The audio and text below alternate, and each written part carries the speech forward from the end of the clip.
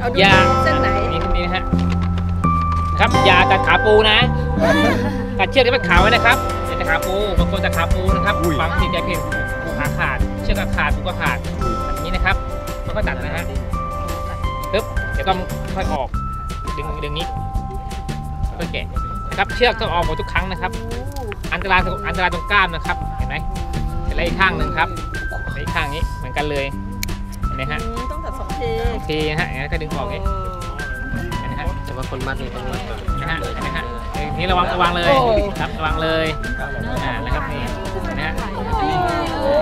นี่เลยนะฮะอย่างนี้เลยนะฮะอย่างนี้เลย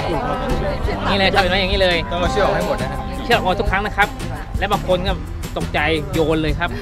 แล้วปูเตะซ้ำเลยซ้ำเลยตาย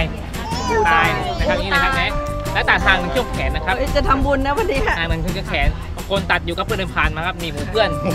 เพื่อนคือเราไม่มองตัดเพลินไงเพื่อนเดินผ่านมาหนีบเพื่อนข้างๆเข้าใจไหมครับเดี๋ยวดูเดี๋ยว เห็นเห็นเขากลางเห็นไหมฮะกลางไว้อาการตรงกลางมันหนีบไวมากเลย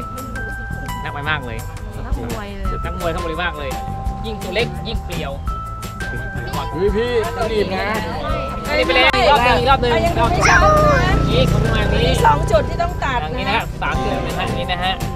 นี้นะครับนี่ไว้ล็อกเลยครับล็อกตรงนี้เลยตรงนี้เลยเขาจะผูกไว้ให้ละมีสองเห็นไหมครัขาบเห็นไหมฮะออกไปครับเห็นไหมครับ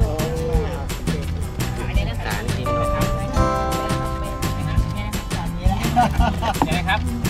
แล้วครับต่อได้ถ้าจำอย่างผมบอกไม่ไม่อันตรายครับไม่เป็นไรอันตรายอย่าอย่ากลัวครับอย่ากลัวอย่าสั่น